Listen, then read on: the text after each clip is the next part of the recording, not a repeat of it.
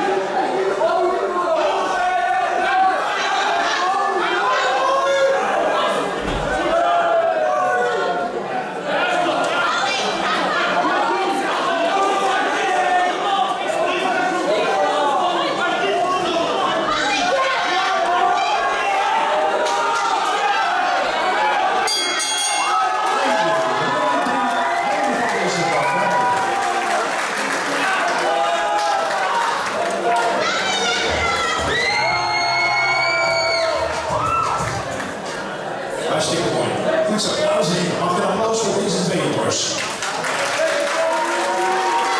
Welke winnaar is daar?